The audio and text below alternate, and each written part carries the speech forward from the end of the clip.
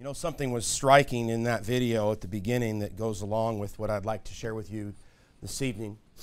And that is that in a great time of devastation, the people rallied at the church. People rallied at the church. And I was told years ago there's three homes that we ought to desire to have. Number one, we ought to desire to have a heavenly home someday. You know, I trust that if you're here this evening, I trust that you know the Lord Jesus Christ as your Savior. If not, I pray that you would consider what Christ has done for you. The only way you can have a heavenly home is through Jesus Christ. So someday I trust that every one of you will have a heavenly home. The second home that, that uh, was mentioned to me is obviously an earthly home. Not a, not a home, not a house, but a home, whether that be individual or husband and wife or husband and wife and children but a home, a place you call home, however many people are in that home. It need not matter. But the third home that well, I was told that is very important that we have a heavenly home, an earthly home. The third one is what they talked about on that video in the beginning, and that is a church home. A church home. And over the last little bit, I've been meeting with uh, several people that have been coming to Anchor Baptist Church, and they have uh, been, we've been discussing in their homes about uh, being a member of Anchor Baptist Church. Some of you are new members, and I'm so glad the Lord led you to Anchor Baptist Church. The local church, Anchor Baptist Church, is obviously the one we're talking about this evening, our church here, has been commissioned by God. We've been commissioned by God to carry out the gospel of the Lord Jesus Christ. We have not been commissioned by God to have uh, have uh, programs or have anything that would, that would take away from that or would distract us from our main focus, and our main focus being giving the gospel of the Lord Jesus Christ, reaching the lost, giving money to places like the Philippines and other. We send money all over the world to reach, the, reach people with the gospel so that they can start local churches, so that they can have a little hut where they can meet and preach the Word of God and people can be saved and hear the gospel. That is part of the purpose of the local church. But another purpose of the local church is not only reaching the lost, but secondly, perfecting the believers, growing the believers, helping you and helping me to grow in grace it's not just a matter of getting someone the gospel and them getting to know the Lord Jesus Christ as Savior, and that means the work is done. We know that the Great Commission is more than just uh, preaching the gospel, but it's, it's a threefold thing. It's baptizing them, it's training them to do likewise. And I'm so thankful that we have a place like that here. As we think about the local church, I'd like you to take your Bibles this evening and go with me to Acts chapter number 2. Acts chapter number 2.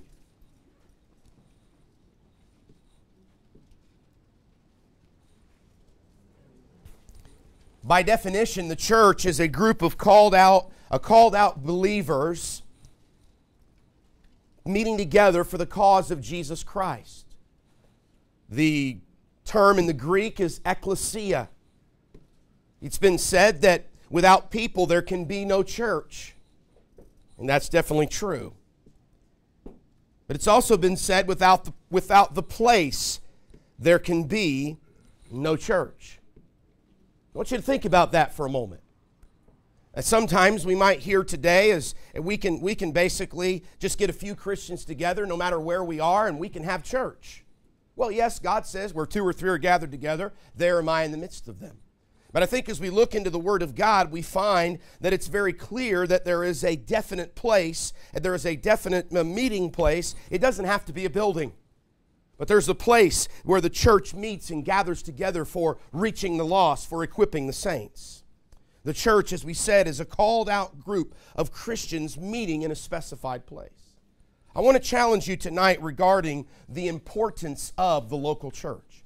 I also would like to challenge you this evening for uh, this, this, uh, this thought. What is the function of the local church? What is the function? Why are we here? Why do we have the church? God has designed it and planned it for we as Christians, and I'm assuming that you're a Christian tonight. If you're not, that's okay. We're glad that you're here. We trust that someday the God's Spirit will bring conviction upon your heart and you too will be saved. But God has designed it and planned it for Christians to be vitally related to a local church. To be related to a local church. Think about this for a moment. How important is the local church? In the, in the early day, in the New Testament, the local church was the place of activity. It was the, it was the place to be. It was not only the place of activity, but it was also, number two, the place of authority. There was something about putting themselves under the authority and, and activity of a local called out group. We find this in Acts chapter number 11 and 13 and 15. And, and we, won't, we won't turn to there. We're going to be uh, at in Acts 2 in just a moment if you allow me to lay a little bit more groundwork. It is often said, and I've heard it said many times, and I've even said it, you can be a Christian without going to church. We know that's true. It's not about going to church that makes you a Christian. You can be saved without going to church. And I'm thankful salvation is not in the, tr- in the church. This is a definitely a true statement. However, I would submit to you tonight that if you are trying to live the victorious Christian life, I would almost say it is impossible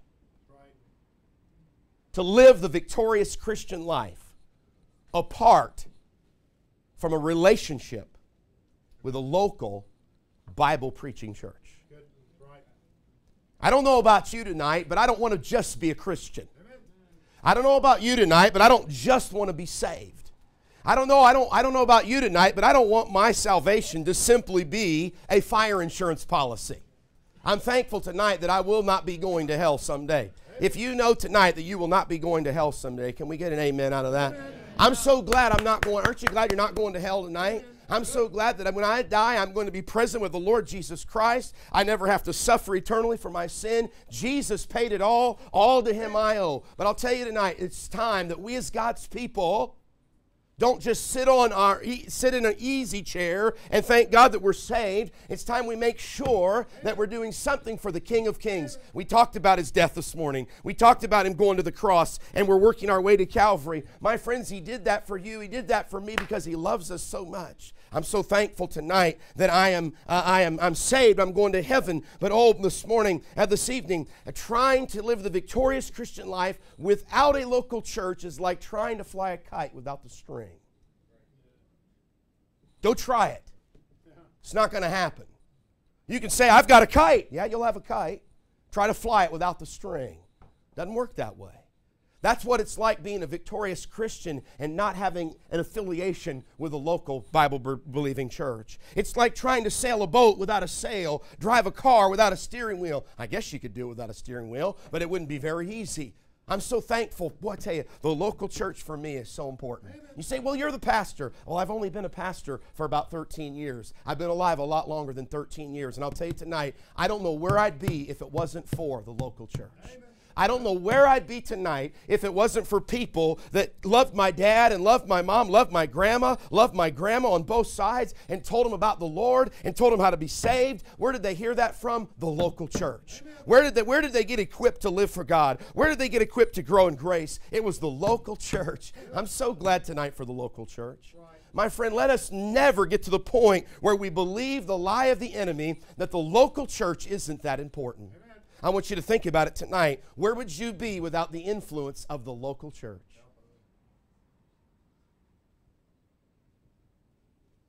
Devastation hits in the Philippines, and they ask the, they ask the preacher, What do you have that we don't have?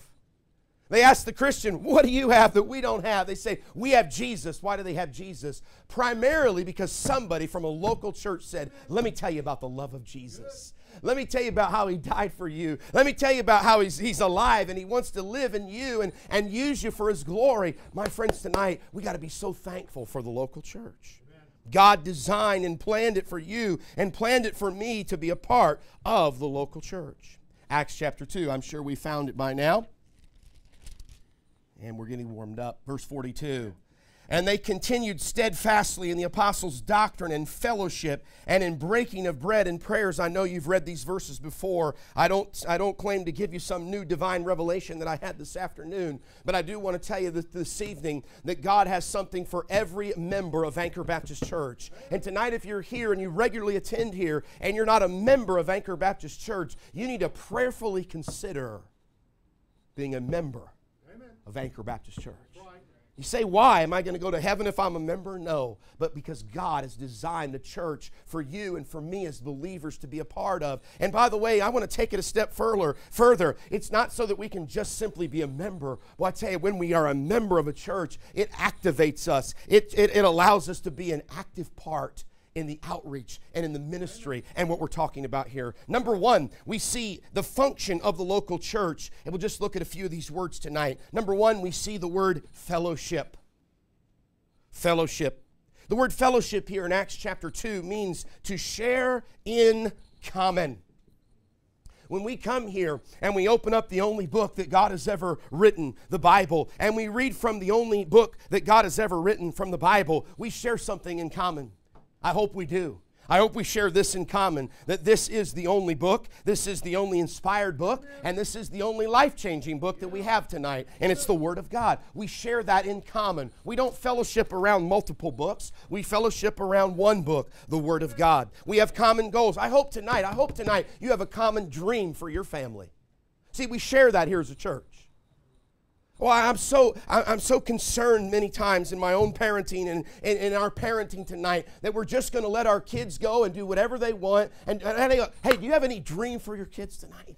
Man, I have a dream for my kids. I have a dream for my grandkids. And we come together here in this called out assembly that we share the same hopes for one another. You know what I hope for everyone here tonight? I hope for everyone here tonight that we die faithfully serving the King of Kings. I hope for everyone here tonight that we die loving the Lord Jesus Christ with all of our heart, body, soul, mind, and strength. I have a dream for all of you here tonight that if you fall, that you'll get back up because a just man falleth seven times and riseth up again. You know what? That's what we share in common. We have that in fellowship. That's part of the local church. It's the purpose that we have in life that we share together. By the way, we're not all cookie cutters here tonight. I'm so thankful we all weren't cut out of the same mold. We're different, but God loves us exactly how we are. But we come together in unity. Go with me to 1 Corinthians chapter number 12, please, tonight. And we'll, we'll try to uh, keep an eye on the time and we'll just watch it go by. 1 Corinthians chapter number 12. You know, I'm excited about the local church. Think about it. Take out the local church in your life. Take it out. You say, well, I, I, I'm, I'm third generation Christian. Yeah, but if you take it out of your life, your grandfather never got saved. Your grandmother never got saved. You got to take it out completely. Think about it. What's so valuable? Yes, Christ died for this place. Christ died for this institution. This is not Anchor Baptist Church's church. This is not Pastor Turner's church. This is the church of the Lord Jesus Christ tonight. And we need to make sure that we have the right focus and we're doing something for God. Look at 1 Corinthians chapter 12 verse 25. That there should be no schism in the body. We could also use the word division there. No schism in the body. Notice but that the members, it's talking about the local church. You can read through the rest of this chapter.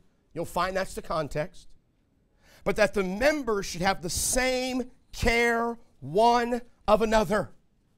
This is part of the beauty of the local church is that, that I have the same care for every member of the local church.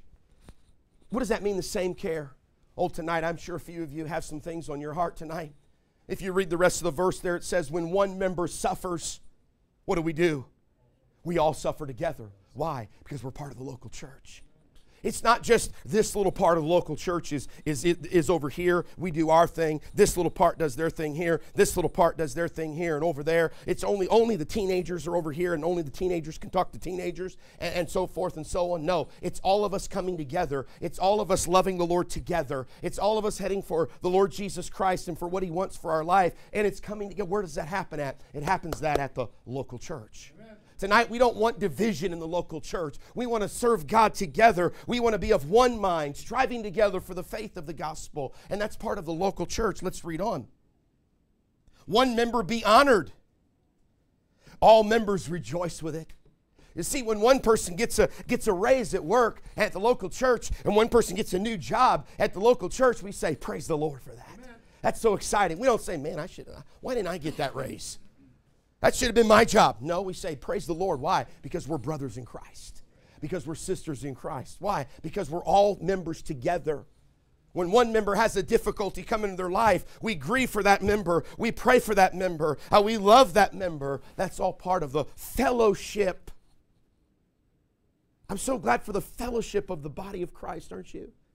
You see, but we, it's sometimes I don't, we don't, we don't know so and so, or somebody is mentioned, and I, I want to be loving tonight, and please know my heart tonight. But somebody says, "Well, so and so," and we say, "Well, who's so and so?" My friends, the reason how we get to know every so and so is when so and so's are at church every every Sunday. And when they're in church every Wednesday, that's how we get to know so and so. I want to encourage you tonight be faithful to the house of God. Why? Because you need to be a part of that fellowship. You're going to need it. Who are you going to call when tragedy strikes? You going to call your boss at work? I would hope not. Who are you going to call? You're going to call somebody in the church. Right. You're going to go like the Filipinos went to that man on the island and said, I don't get it. What, you, what do you have? Who are you going to call when a family member has a, has a disease and you don't know if they're saved? And I, I pray that you'll share that with us so we can pray for them. That's part of the fellowship. By the way, it's not just for one class, it's for all class. Amen. We're all here together, unified under the blood of the Lord Jesus Christ. The fellowship. Turn to Hebrews 3 quickly. Hebrews 3. By the way, let me just challenge you parents with something tonight. By the way, I, I, have got to work on it too. But think of this, parents, tonight. Let me challenge you with this thought. Whatever you make important in your house, your kids will make important in their life. Think of it. Whatever I make important in my house, the kids that I influence are going to cause to be important in their life. What's that mean? That means if church is a hobby for you, it's going to be a hobby for your kids. And it's probably going to be less of a hobby. Church should never be a hobby. Amen. Church is a commitment. Good. God is a commitment. The Lord Jesus Christ is a commitment. You know what? We don't need just converts. Do you know what we need? We need disciples. Amen. That's what we're supposed to be a disciple for the Lord Jesus Christ. Yes, if you trust the Lord Jesus Christ, believe in thine heart and verbalize it with your mouth and call upon him, he will save you. But my friends, it doesn't stop there. It's only beginning there. And now we need to be a Berean Christian and we need to get ourselves in the Word of God. We need to immerse ourselves in the Word of God. Our homes need to be a place that emphasize the local church. What you emphasize, what you think, what you say is valuable and important that's what your kids are going to value. Hebrews chapter 3, verse 13. But exhort one another daily. But exhort one another daily. While it is called today, lest any of you be hardened through the deceitfulness of sin. Part of the fellowship of the local church is experiencing um, encouragement, exhortation as we see one another faithfully living for God and trying to do our best for God's glory, it encourages us. I told John tonight over there in the five o'clock hour, I said, John, you, you, you deciding to be obedient to the Lord in baptism is going to be an encouragement to another Christian. It is an encouragement to see people living for God. It is an encouragement to see people faithful to the Lord. That's what being a part of the local church is all about. Not just being here so that people see me here, but, but pleasing the Lord and because I love the Lord, but encouraging one another. Amen. Notice here it says, Lest any of you be hardened through the deceitfulness of sin. The local church is a place of encouragement. The local church is a place of comfort, support, but it's also a place of admonition where we'd be admonished with the Word of God. I don't mean to go back and repreach messages, but if you weren't able to be here on Wednesday night, I, I trust that you'll go on our uh, church Vimeo account and you'll listen to the preaching from the Bible on the subject of bitterness. Good. You say, "Oh man, I almost came Wednesday night." Well, you should have almost. You shouldn't have just almost came. You should have been here. I know we can't always be here, okay? I understand that. God knows your heart. That's the most important thing tonight. And if you can say in front of God, God knows I couldn't have been here, fine, we'll live with that. But I tell you, go back and listen to that truth. Because if you allow bitterness to stay in your life, if I allow bitterness to stay in my life, there is no way I'm going to be able to live for God how God wants me to live for Him. You say, well, why are you talking about that? Because I, I, just want you to understand something. We, we don't, I don't just stand up here and, and, and give uh, uh, my opinion. We, we, we, we, give the Word of God. Amen. Why? Because I want to help you. Amen. I want to exhort. Preach the Word. Be instant in season, out of season. Reprove, rebuke, exhort with all long suffering. The local church is a place of fellowship. Amen. As we go back to Acts chapter 2, the local church is a place, Acts chapter 2, verse 42, and they continued steadfastly in the apostles' doctrine. Doctrine. We know what doctrine is. Doctrine is teaching. The local church provides biblical, sound teaching. Why? Because it's necessary for me, it's necessary for you to grow. God has given us in Ephesians chapter 4, verse 11, I won't turn there, but God has given us leaders in the church to instruct us, to lead us, to train us, to care for the people of the church. Tonight, I want you to know that as your pastor, it is my honor and privilege when you have a need, when you have a prayer request, when you say, I, I, I'm struggling in this area, pray with me. See, that's part of the local church.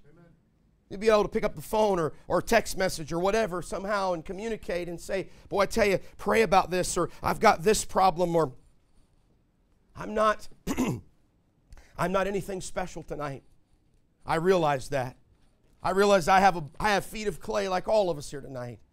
But I'm so thankful that God has designed the local church in the way that He has. And I'm so thankful that God has brought you here tonight. I have a dream for you, I have a vision for you. That you would continue to be faithful to the Lord until the day He returns or until the day you take your last breath. Well done, thou good and faithful servant. Place of teaching. Would you go with me to 1 Thessalonians chapter 5? 1 Thessalonians chapter 5.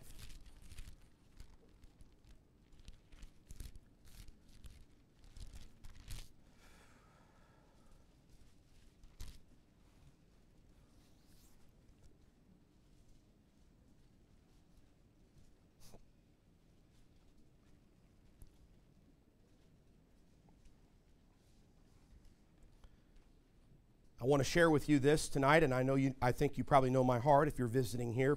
I trust that you'll know the spirit in which this is given. The Bible says in verse 12, And we beseech you, brethren, to know them which labor among you and are over you in the Lord, and admonish you, and to esteem them very highly in love for their work's sake and be at, what's that next word? Peace. Wow. You know what that's saying? That's saying that we, as the body of Christ, we need to be aware of those who labor over us in the Lord. Notice it doesn't say Lord over us. What it doesn't say there. I'm not lording over you. I'm laboring with you, but I'm laboring in the Lord over you as a spiritual leader of the church, as the under shepherd. That we obviously love the spiritual leaders that God, God puts in our life. We have an adult Sunday school teacher. Maybe you have a youth pastor that you're in the youth group, and so Brother and Mrs. Ravert are a spiritual leader in your life. It says that we need to be uh, uh loving those spiritual leaders, but notice that, that, that ending there. Let us not forget that. And be at peace so thankful for several times, and I'm sure it'll happen again. I'm so thankful for several times, uh, maybe maybe more than several now, where many of some of you in this room and, and others have, have come to me and said, you know, I need to talk to you about something. and we've talked about something that happened, and it, maybe it wasn't necessarily the right thing that happened, but we were able to work it out and we were able to make sure that there was peace among us. Because if that's not dealt with properly, the Lord tries to bring us together, the enemy tries to divide. The Lord tries to build the church, the, the enemy tries to destroy the church. The local church is a place of fellowship it's a place of teaching. Notice in verse 42 of Acts chapter 2, as we move back there quickly. Notice the last three words of Acts 2:42 and in prayers. And in prayers. The local congregation of believers must be committed to bringing needs before God on behalf of one another. I want to just, I want to just, I want to leave you a thought, and I don't know if I'm, how much more I'm going to go tonight, but I want to leave you with this thought. We know that the Bible many times brings up prayer and fasting. Prayer and fasting. I want to just tell you something tonight. That's been one of the weakest areas of my walk with the Lord is fasting.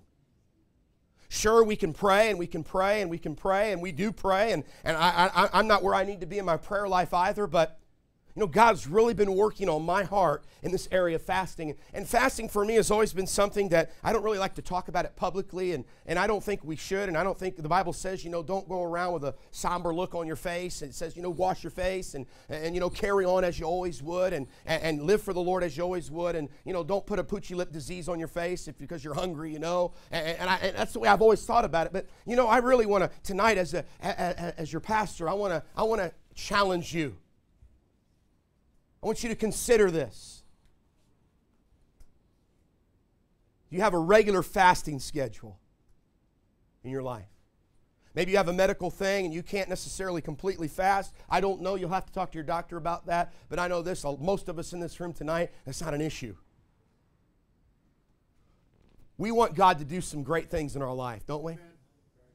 The Bible says that Jesus said, Hey, fellas, this kind cannot come forth. It only comes forth but by two, two ways prayer and fasting. God's been convicting me about that. God's been convicting me about that, and I've been starting to apply that conviction to my life. I'm not saying I'm there yet, but I'll tell you, I want to know God in a greater way. Amen. I want to see God do some things in this church and in my life and in the life of our family, but it all comes back to, it all comes back to, and again tonight you're hearing it, and I don't know why I brought that up tonight. I just felt like the Lord wanted me to, but God has a plan for you, and God has a plan for me. God has something great for you. One of the plans He has for us is to be intimately involved in the ministry of the local church. It's for you. God gives it to us. It's a gift. Notice verse 43. And fear came upon every soul, and many wonders and signs were done by the apostles. The people in a spirit filled church should be a living testimony of the grace and power and demonstrating power of the Holy Spirit of God. You know, God still wants to work through you, and God still wants to work through me in a supernatural, powerful way. I don't believe God is done doing miracles. I don't believe God is done uh, using us for His glory. And I want to encourage you tonight let the Lord have His way. God has a plan. Part of His plan is the ministry of the local church, and we could read down through that. I want to ask you tonight take the local church out of your life. Where would you be? Just take it out. You never walked the aisle at that place because you, there was no church. The guy never came by and knocked on your door because there was no local church. The Sunday school teacher never invested in you because there was no Sunday school teacher because there was no local church. Think about it. God has a great purpose for the local church. It wasn't just for Acts, it wasn't just for Corinth. It wasn't just for Ephesus and Galatia and Thessalonica. It was for Burnaby. Amen. It's for Cameron Street. It's for the Lougheed Mall area. It's for your street. It's for my street. It's for everywhere we go with the gospel of God. It's for your children. it's for our kids. Someday, maybe, it's for our grandkids. The local church. It's vital. Christ died for it. How are you investing in the local church? I'm not talking about money, I'm talking about your life. I wonder tonight if, if in the last month, I wonder in the last month, will you evaluate your life in this fashion? In the last month, what have I done for the Lord through the local church except come and sit in a service?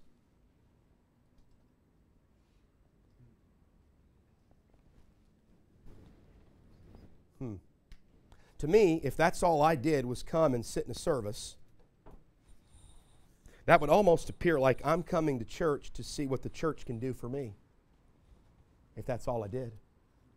Do you know that's not the attitude that we ought to have about church? The attitude what we ought to have about church is what can I do for the Lord through the church? This is not this is not a place, this is the, the, the Anchor Baptist Church is not a club. You just have to club, to come to club meetings. Man, we're in this. We're in this for the King. We're in this for the one who loves us.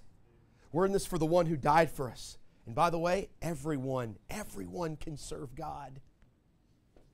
There's no one here that cannot serve God. Have you prayed for have you prayed for our missionaries that we support? Have you prayed for those on our prayer page?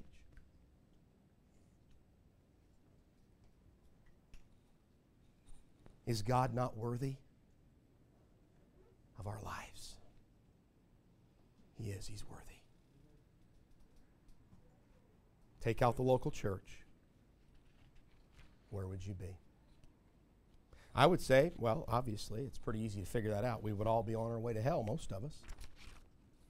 Because in some way, the local church has influenced all of this. That's why God started it. That's why Christ started it. And today, we have the privilege over 2,000 years later to carry on the great message of the gospel. We have just as much of a privilege as John and Peter and Paul and all the rest of them to serve God today.